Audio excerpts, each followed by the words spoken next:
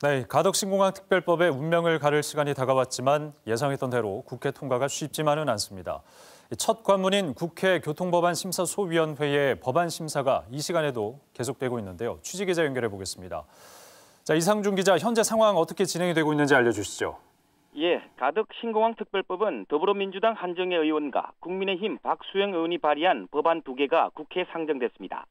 더불어민주당 의원 6명과 국민의힘 의원 4명 등 10명으로 구성된 국회 교통법안 심사 소위원회는 오늘 오전부터 법안 심사를 벌이고 있는데 이 시간에도 심사를 계속하고 있습니다.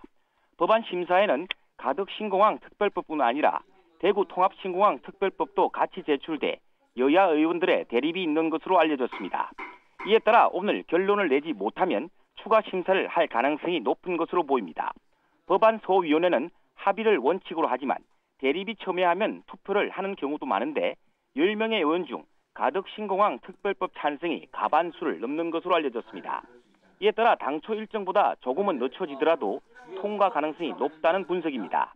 특별법이 교통 소유를 통과하게 되면 앞으로 국토교통위원회와 법사위를 거친 후 오는 26일 국회 본회의에서 최종 의결됩니다.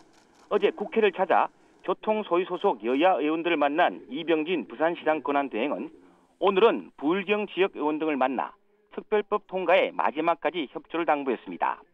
가덕 신공항 특별법이 오는 26일 국회 본회의까지 통과해 2002년 민항기 추락 사고 이후 20년간 겪어온 해묵은 갈등이 이번에는 종지부를 찍을지 주목됩니다. 지금까지 KBS 뉴스 이상준입니다.